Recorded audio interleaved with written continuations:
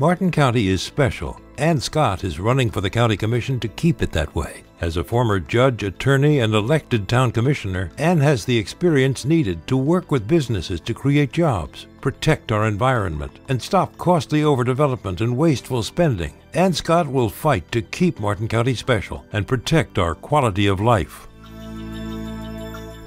I'm Anne Scott. I'm running for the Martin County Commission, and I'd appreciate your vote on August 14th.